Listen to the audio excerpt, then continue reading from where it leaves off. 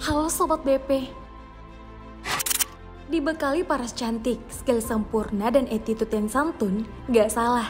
Kalau sosok tunggal putri Indonesia Gregoria Mariska punya banyak penggemar khususnya di Indonesia. Nah, apa kalian salah satunya? Kalau benar iya, kalian wajib simak nih momen-momen di mana Gregoria menunjukkan sikap respeknya pada sang lawan di lapangan.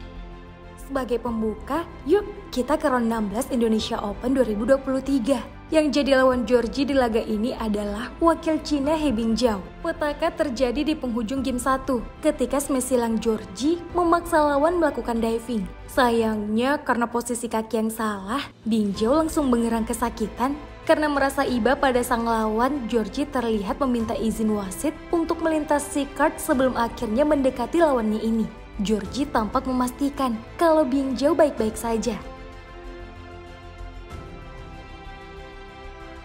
Selanjutnya kita ke semifinal Spain Masters 2023, di mana Georgie dihadang jagoan tuan rumah Carolina Marin. Yang jadi kredit khusus buat Georgie di laga ini adalah ia tak sedikit pun menunjukkan selebrasi kemenangan di hadapan fans Marin.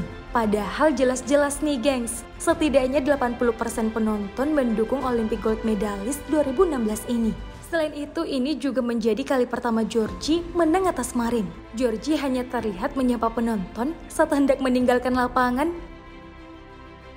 Georgie harus rela pulang lebih cepat karena kalah oleh jagoan Cina He Bingjiao di semifinal Japan Open 2023. Pemain 24 tahun ini kalah dramatis lewat babak rubber game dengan skor akhir 21-13, 19-21, 9-21. Meski begitu, gengs, kekalahan ini tak begitu menyakitkan bagi BL Indonesia.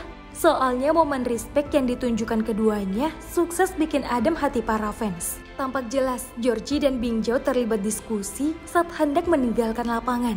Entah apa yang disampaikan Georgie yang membuat rivalnya ini langsung tertawa lepas. Nah, kira-kira Georgie bilang apa ya, gengs? Coba tebak.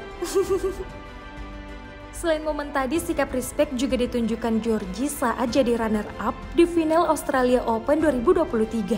Susi Susanti dan Alam Budi Kusuma yang mengalungkan medali disambut Georgie dengan cium tangan sebagai bentuk penghormatan pada legenda badminton Indonesia ini.